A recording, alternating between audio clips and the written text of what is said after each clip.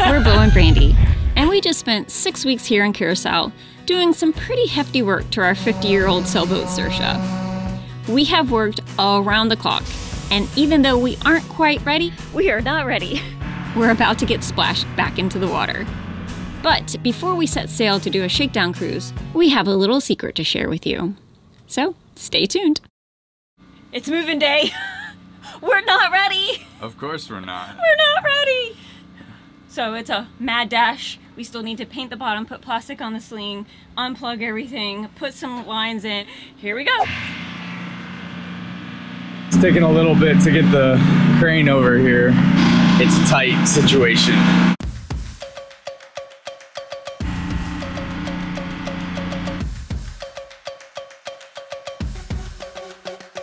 Any boat owner knows that this is the most nerve-wracking part of being out of the water. Back in.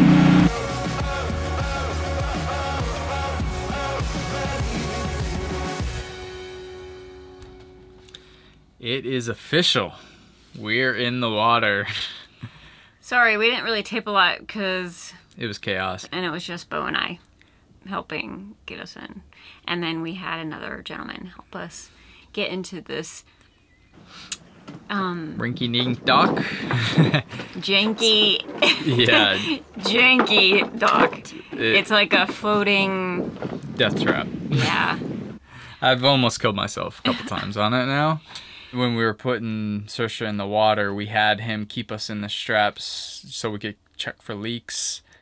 I can see it coming out over here. Is that where it normally comes out? It running down. Yeah, down Yeah. the yeah. So that is the rudder post. Yeah. Well, that sucks. And uh, in all the chaos of trying to get her back in the water, I forgot to tighten the centerboard pin bolts. Yeah, but the their bolts were there. They just weren't tight, tight. So Yeah. water did start coming in. There, no water got into the void. But we need to get that plugged up Yeah. ASAP. Yeah, Yeah. just it, it's just been so of- much. a lot of projects. We're a little overwhelmed with how- how much we needed to get done. I just feel like we, we've just been working and working and working and Yeah, we've been pulling all nighters just trying to get this done. We're we're almost there. almost there. almost there. And then there's more. Never ends. But hey, that's boat life.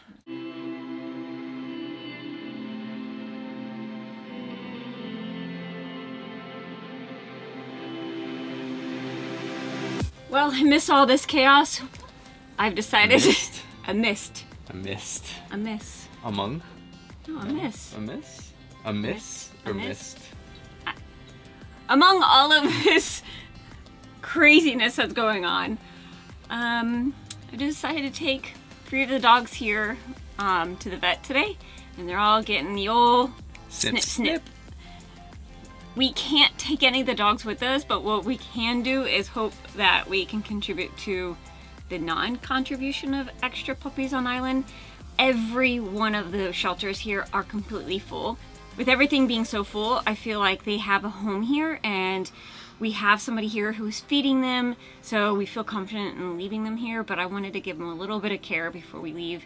And again, we want to thank everybody who donated for that, and we're just super appreciative that we can at least give a little bit. I mean, we can't save all the puppies, it's kind of one of our sayings. We can't save all the puppies, but at least we can help a couple.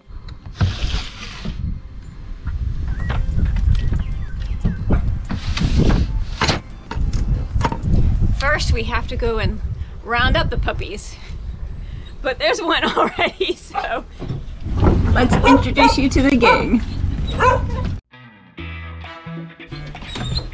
Hi. Morning.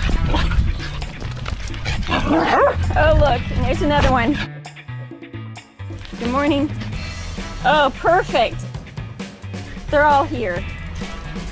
This guy, and this guy, and this guy are all going.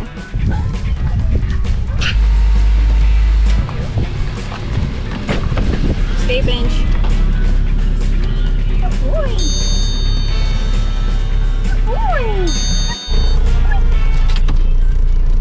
Good boy. Good boy. Good boy. Yeah. Well, they seem to like the car. that was so easy. It's taken me about a month and a half to even be able to touch Sparky slash Batman back here. So this actually worked out really well.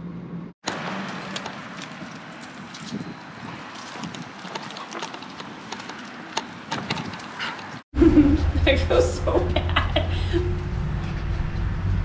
Snip, snip. Snip, snip. All right, the deed is done. We just dropped them off. I feel so bad. We had to put them in their little kennels. There's more strays here too. It's a really bad issue here in the islands is the Dog. overpopulation. I just got a message from the vet that the puppies are all okay. They are waking up from the anesthesia and I'm gonna pick them up and give them some extra cuddles because I feel really bad. But hopefully this will help in the long run, even if it's just three puppies. He's a little more groggy than those two. Oh yeah. Can't walk. Yeah, he's a We're all back in the car. Batman's acting like nothing's happened. Right, Sparky? Right, buddy? Yeah. Benji, I think, might be a little bit upset at me. and poor Blanco, he's still out of it. I think because he's a little bit bigger, he must have had more anesthesia. Blanco, he's okay, bud.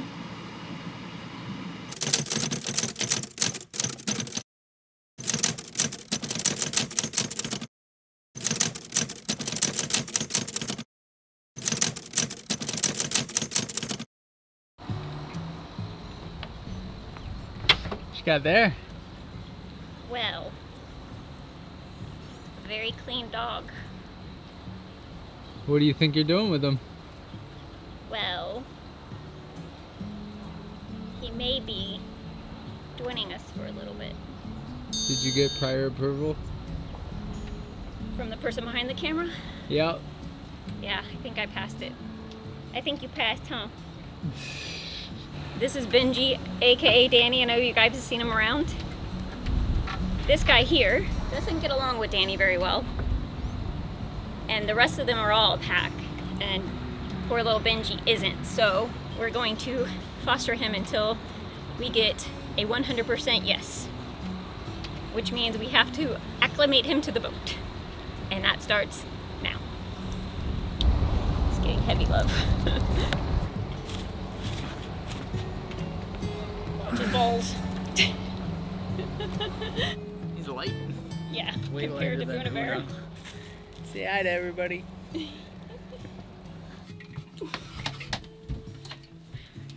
I don't know how sure he is of this place. What do you think, Benj? It's still a mess. Oh, Wet puppy? wet puppy. What do you think, bud? It's like, where am I?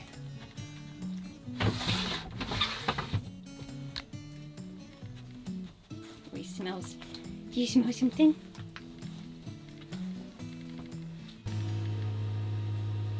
Sleep tight, little buddy.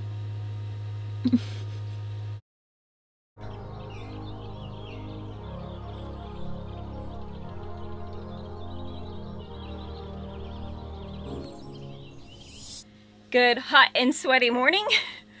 We have the air conditioning out. We've got to put it away because we're going on a shakedown cruise today. we have a tiny little island called Klein Curacao, which we're gonna head out to. The wind is dying this weekend. Today is the only day that we can go. And we kind of have to do a little bit of a night sail, we think, because we still have a lot to do to pick up Saoirse in order to leave. But the first thing I want to do is put up our new signage. And our friend Steve and Denise so kindly gave us final stickers to put up. I'm being lazy, and I want to see if Brandy can put these on without having to drop the dinghy, because it's just gonna take more time. But if she can't do it, then we'll drop the dinghy. And the only problem is, is that we are docked up to the port side of our boat, and our stickers go on the stern. So I'm gonna have to hang off the back of the boat to put them on. So this should be interesting.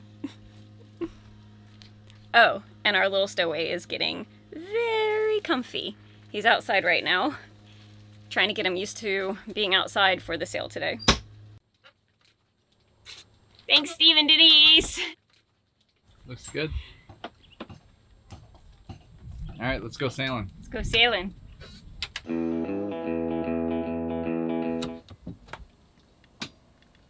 It clicked. Motor test check. Do you remember how to do everything? Ah, it's like riding a bike.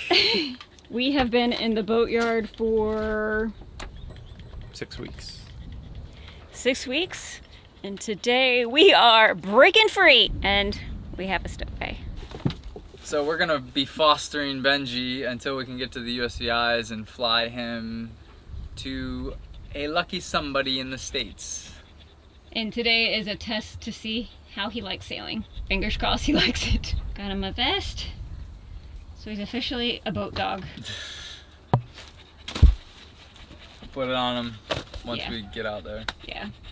Completely dead tomorrow. It's coming out of the southeast. It's 9 and gusting 13. And right now it's got 12 to gusting 17 coming out of pretty much the east. We're kind of debating on should we wait until tomorrow to go, but there is literally no wind. That's kind of the reason we decided to go to this little island because it's pretty exposed. So the lighter the wind during the day, the better. And today is about our only hope to get out there. So we need to go out there and visit it if we're going to. And this is the only time we really have got because we need to be out of Curacao in the next week and a half, two weeks, perhaps. All right, the wind is happening. All right. Let's move on out.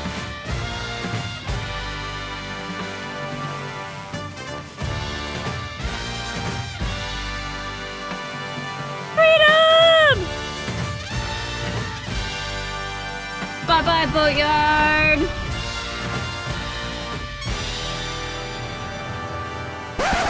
Alright, what's happening? We've lost steerage. Yeah, our key fell out that holds the shaft to the quadrant. This is a familiar feeling. Yeah, this happened in the Bahamas, huh? Yep. Alright. At least we know what it is. And this, my friends, is what you call a shakedown cruise. shakedown sail. Well, we messed with a bunch of stuff, so. Yeah. It's good that we are doing a very short sail today. Trying to maybe get a little more security in here. The key is not long enough to fully fit in the channel. I need to make one that's longer so it can't fall out. Good idea. I actually had to make this one because the previous one was made of brass and it just wore out. Let's raise the sail and see how it does under a load. Cause it, I don't know, it still might be slipping a little bit. I might have to modify this battery box a little bit once we do get in and shift it forward. It might be in the way. Let's give it a go.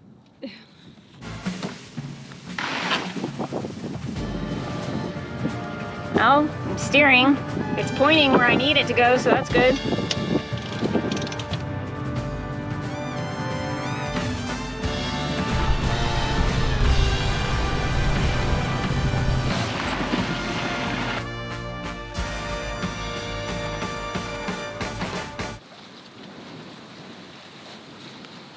Got a little helper? Yeah, he's already captaining. Huh, bud? Yes.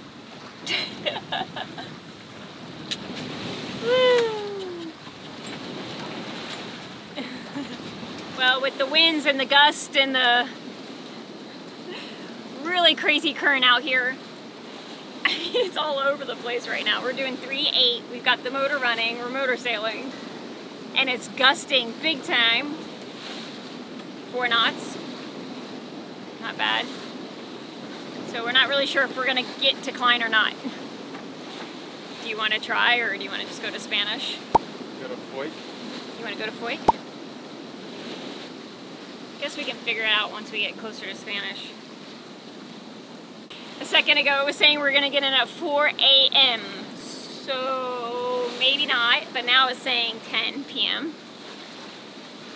Our buddy's doing really good. Right, Benj? This is actually where Oona stayed in the very beginning, remember? Yeah. Till she got comfortable. Until she got used to it. Yeah.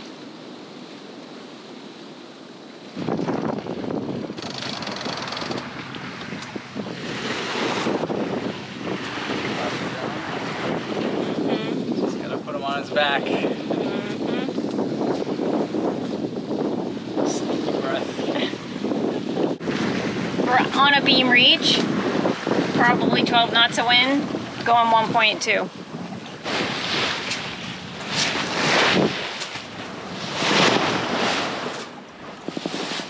Since we just did major work to Saoirse, and we're about to do a long passage, it was great to do this shakedown cruise. It really helps us work out what needs more attention. And after being in the boatyard for six weeks, the thought of all the work we put into Saoirse became a reality. When we were there, covered in dust and sweat, it seemed like it would never end. But right now, all of that is washing away with the waves and blowing away with the wind.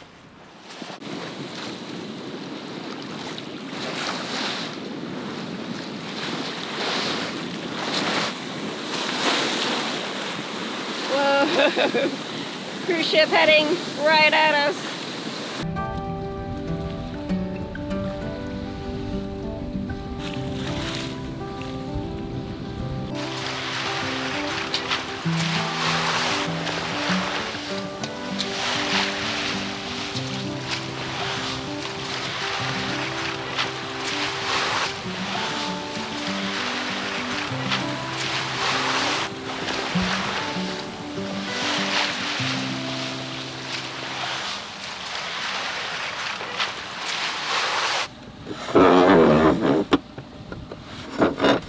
So technically, what does that hole go to?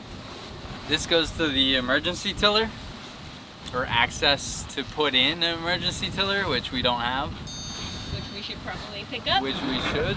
Just wanted to double check, make sure everything looks good. It seems to be responding well. The key basically fits in a little channel on the rudder post, and then there's the second part of the channel in the quadrant. So the key slides in between those two and it locks them together. So when you turn your helm, it'll then go to the quadrant through some pulleys and some cabling and then that key is what helps turn the rudder post, turning the rudder. So it's really important and I didn't realize this when we lost steering the first time back in the Bahamas. It took me a while to troubleshoot and figure it out. But now that we've experienced it before, I knew immediately when she lost steering that it was gonna be the key.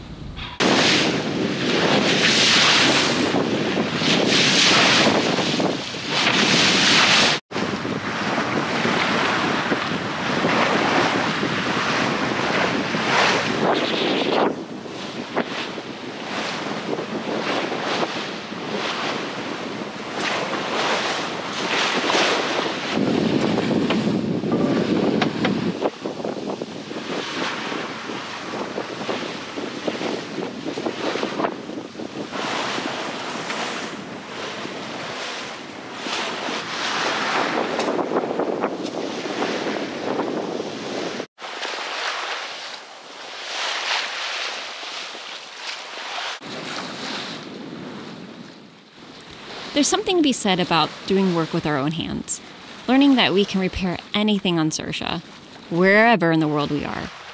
And with everything that breaks, we'll fix it and then continue on. Because this is our home. Everything that we own is here. And this is the life that we built together.